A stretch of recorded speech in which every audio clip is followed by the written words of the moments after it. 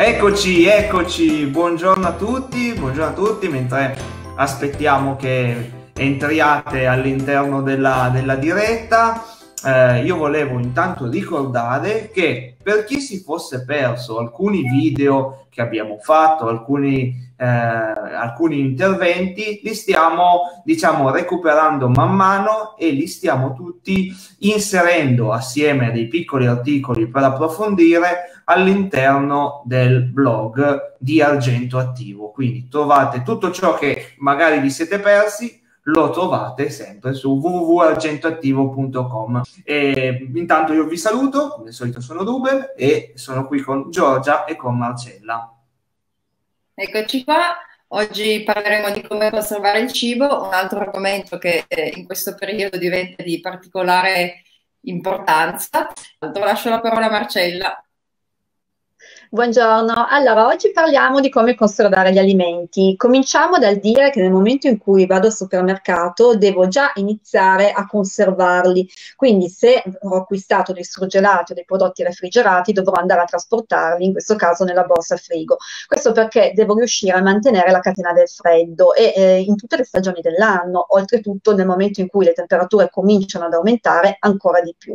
Poi cosa importante da fare, eh, il supermercato deve essere l'ultimo posto posto dove vado a fare le commissioni, perché molto spesso può accadere che le mie borse eh, cariche di alimenti rimangano in macchina e magari andò, vado ancora a fare un qualcos'altro. Attenzione perché soprattutto quando le temperature sono alte, questo fa sì che di nuovo la catena del freddo eh, si vada a spezzare. E che cosa succede? Succede che l'alimento inizia a deteriorarsi prima, quindi se noi non riusciamo a mantenere la catena del freddo nel tempo in maniera costante, abbiamo delle alterazioni che possono poi provocarci le famose MTA, le malattie a trasmissione alimentare alimentare. Quindi mi raccomando, prestiamo prima di tutto attenzione a questo.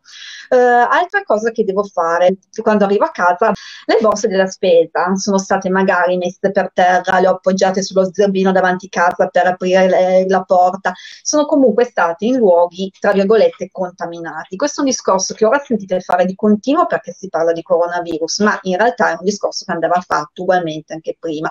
Eh, I materiali non sono sterili, quindi la borsa della spesa contaminata non è corretto sistemarla sul tavolo oppure sui piani della cucina e poi andare a spostare vari, le varie derrate in dispensa oppure nel frigorifero, perché in questo modo vado a contaminare i piani d'appoggio. È vero, qualcuno mi può dire, ok, però poi dopo il piano d'appoggio viene pulito, ma evitiamo proprio questa norma. In genere la borsa della spesa possiamo appoggiarla sulla sedia e poi a questo punto possiamo andare a smistare ciò che abbiamo all'interno. Cosa andiamo a collocare prima? Importante ricordare di nuovo sempre il discorso della catena del freddo, quindi io prima andrò a collocare tutti quegli alimenti che vanno messi nel freezer oppure nel frigorifero. Dopo, quando ho finito, andrò a collocare quegli alimenti che vanno messi in dispensa, quindi ho già un ordine di idee che devo andare a seguire. Uh, allora, uh, le borse come indicazione uh, che è stata data dall'Istituto Superiore di Sanità andrebbero comunque lavate il più possibile, nel discorso che a volte noi utilizziamo la stessa borsa della spesa da chissà quanto tempo, non è più una borsa della spesa, diciamo, sterile, è una borsa della spesa dove ci sono dei microorganismi, ci sono dei germi e quindi deve essere pulita in un qualche modo. Eh, nel momento in cui andiamo a sistemare i vari alimenti all'interno o del frigorifero o del freezer oppure della dispensa, qual è il metodo che devo seguire? Il metodo è il FIFO, first in, first out. Vuol dire che il primo alimento che entra è il primo alimento che esce, ovvero l'alimento con data di scadenza antecedente, quindi prima, è il primo alimento che vado a utilizzare per la preparazione dei menù. Questo evita degli scarti, evita che io butti via sia dei soldi, perché magari faccio scadere le cose e poi le butto via, via, e sia delle risorse che sono quelle che ci vengono date eh, dagli alimenti che ho acquistato. Eh, ricordiamo quindi, eh, prima, primo step è quello di fare attenzione a dove appoggio le borse, il secondo step è quello di andare a collocare gli alimenti refrigerati. E quindi ora vediamo esattamente che cosa andremo a sistemare all'interno del frigorifero. Mi sono dimenticata una cosa fondamentale che adesso nessuno si dimentica più, Ovviamente, quando torniamo a casa ci dobbiamo lavare accuratamente le mani, sistemiamo la spesa, rilaviamo accuratamente le mani. Il lavaggio delle mani deve essere fatto e ora ce lo siamo messi in testa. In passato era una cosa che non riusciva, non riusciva tanto a entrare nell'ordine delle idee Allora, frigorifero e freezer, ora vediamo dove andare a mettere questi alimenti. In genere, eh, diciamo che la maggior parte dei frigoriferi sono fatti in questo modo. Abbiamo, partendo dal basso e andando verso l'alto, il cassettone dove viene collocata la frutta e la verdura, poi il piano sopra il cassettone è quello più freddo, dove andiamo a mettere la carne e il pesce, mi raccomando, adeguatamente separati i piani sopra sono quelli a temperatura intermedia dove andiamo a mettere i latticini, andiamo a mettere le uova, andiamo a mettere tutte quelle preparazioni che prima erano fuori frigo, poi le abbiamo aperte e devono essere poi mantenute refrigerate dopo l'apertura. La parte diciamo più calda è quella che abbiamo nello sportello. Nello sportello abbiamo eh, i, i, vari scaffalini dove mettiamo in genere il burro e le bibite, quest'area è quella più calda. Dico in genere perché ci sono dei frigoriferi di nuova generazione che possono avere avere una collocazione degli spazi fatta in maniera differente. Quindi importante se abbiamo un frigorifero nuovo andare a leggere il libretto di istruzioni, andare a vedere dove sono le aree di refrigerazione e come sono collocate. Se abbiamo un frigo classico mantenere questa suddivisione.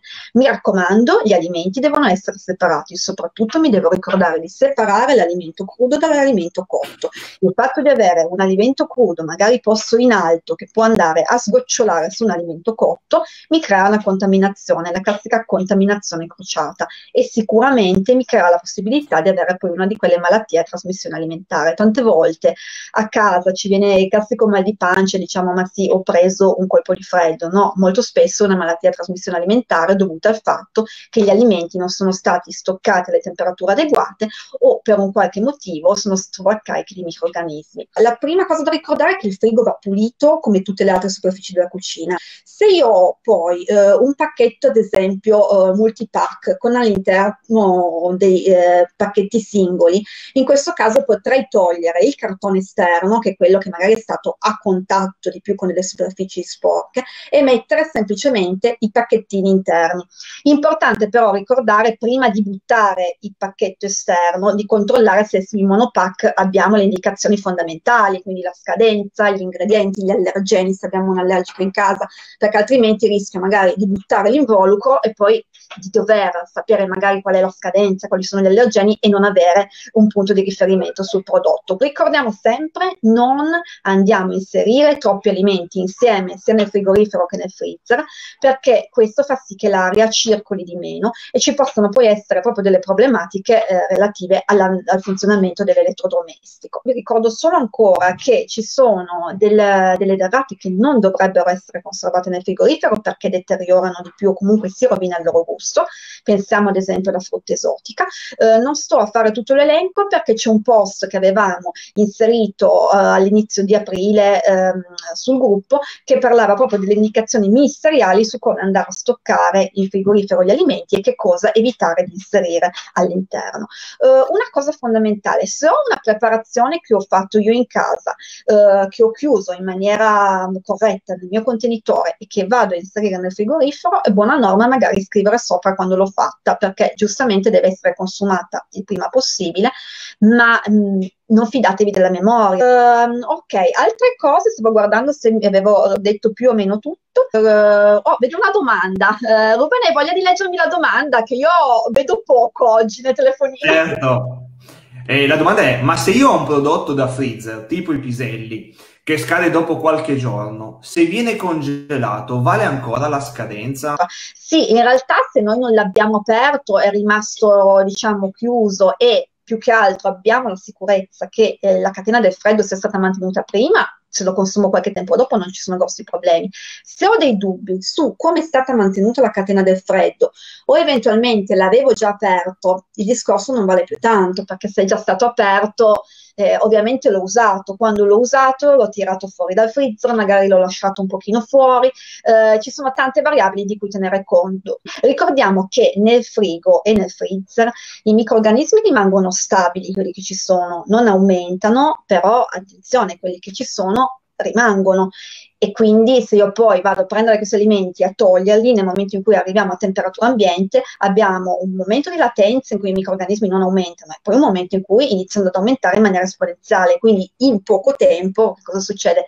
Il prodotto è completamente contaminato ovviamente dobbiamo già avere una carica di microorganismi presente eh, sopra. La parte invece legata diciamo alle conservazioni che vanno fatte in dispensa, quindi tutto ciò eh, che può essere conservato a temperatura ambiente. Quando parliamo di dispensa diciamo che non siamo più così attenti, ma la dispensa deve essere un luogo prima di tutto allontano da fonti di calore, eh, da fonti di luce, il più pulito possibile perché la polvere o comunque eh, qualsiasi sporcizia diventa il substrato per i microorganismi eh, e quindi eh, deve essere un'area comunque eh, alla stregua del frigorifero, semplicemente con delle temperature di conservazione che sono differenti. Attenzione sempre a come sono le confezioni. Una delle cose a cui bisogna sempre prestare veramente molta molta importanza è il fatto che in cucina non dovremmo avere delle particelle piccole, eh, per dire eh, le graffette della pinzatrice. Magari ho pinzato dei fogli eh, perché avevo delle ricette banalmente.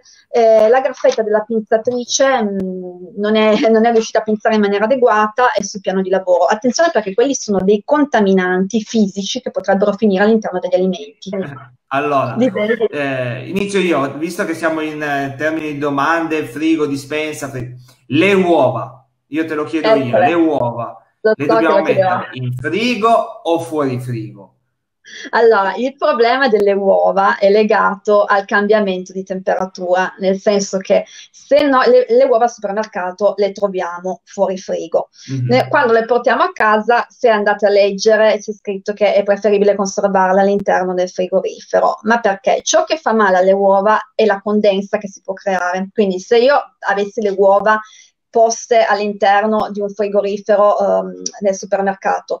Prendo queste uova, le porto a casa. Durante il tragitto, momento, fino al momento in cui ritornano al frigorifero, si potrebbe creare una sorta di condensa che può entrare può entrare, non è detto che lo faccia, all'interno del guscio e quindi può portare i microorganismi all'interno del guscio. Okay. E di conseguenza eh, è questo sbalzo termico che mi va a creare il pericolo. Per evitare questo pericolo, banalmente le lasciano fuori dal frigo eh, nel supermercato, quindi a temperatura ambiente, noi ce le prendiamo, ce le portiamo a casa, a casa andiamo a stoccarle all'interno del frigorifero e poi però anche lì qual è lo sbaglio che possiamo fare? Vogliamo fare la preparazione con le uova, prendiamo tutta la mia vaschetta di uova, ce la mettiamo sul tavolo e la lasciamo un po' di tempo. Abbiamo creato lo stesso sbaglio, quindi prendo le mm. uova che mi servono per la preparazione, le altre rimangono stoccate all'interno del frigo.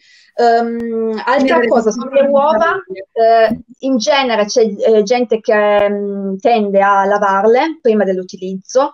Eh, attenzione perché se io le lavo e non le utilizzo, perché dico, ah, vabbè, le lavo tutte, no? È peggio perché creo comunque una condizione che mi va ad allentare la sicurezza, mentre invece dovrei prenderle, utilizzarle facendo attenzione semplicemente eh, ai gusci, quindi a romperle senza che tra virgolette cadano dei gusci o comunque fare attenzione alle mani che hanno toccato uh, le uova, quindi alimento tra virgolette sporco.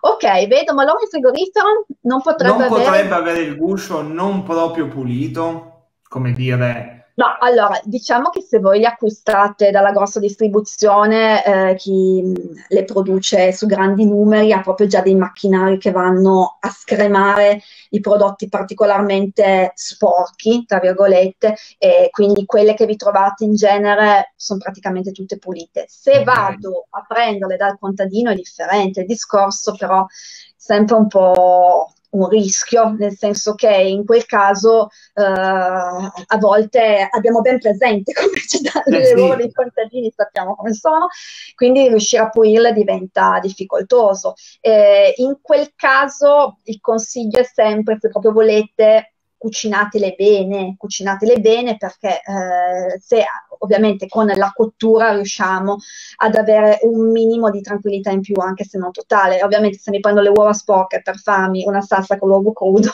il rischio di avere poi un MTA ce l'ho alto. Invece, è vero che il frigorifero ha quell'area, adesso non forse non le hanno più tutti, dove andavano collocate le uova.